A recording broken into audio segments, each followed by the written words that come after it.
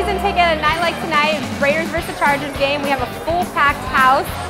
We have over probably 400 people in our restaurant having fun. We have 17 plasmas around our restaurant. Arcade has about 15 to 16 big games. We have pizza specials on Tuesday, two for one. You buy one pizza, get one for free. On Thursdays, it's Thirsty Thursday, so we do $6 pictures of domestic.